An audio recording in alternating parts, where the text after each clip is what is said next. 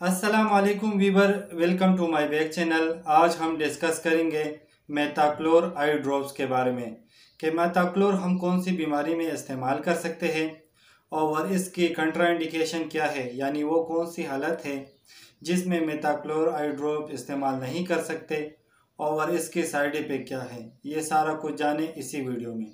मेताक्लोर eye drops खसूसी तौर पर आँखों में इन्फेक्शन के लिए इस्तेमाल किया जाता है। सबसे पहले बात करेंगे मेताक्लोर आई ड्रॉप के अंदर जो फार्मूला पाया जाता है, वो है डेक्सोमेथासोन क्लोरोपेनिल पाया जाता है। मेताक्लोर एक एंटीबायोटिक है, ये बैक्टीरिया को ख़त्म करता है, जो कि इन्फेक्शन का सबब बनता है, और इसके अलावा आँखों में होने वाली एलर्जी को ख़त्म करता है।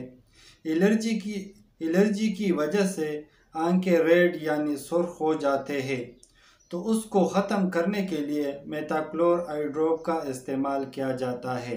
और इसके अलावा आँखों से बार बार पानी बाहर आता हो तो उस कंडीशन में भी आप मेताक्लोर आईड्रोप का इस्तेमाल कर सकते हैं।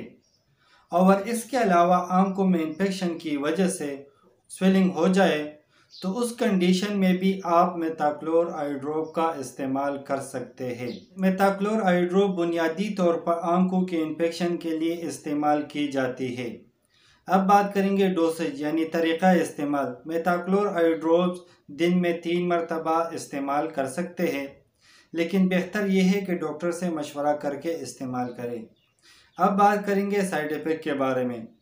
तो मेताक्लोर आईड्रोप्स की कुछ कॉमन साइड इफ़ेक्ट हो सकते हैं। जैसा कि आई पेन हो सकता है, और इसके अलावा नज़र कम हो सकता है।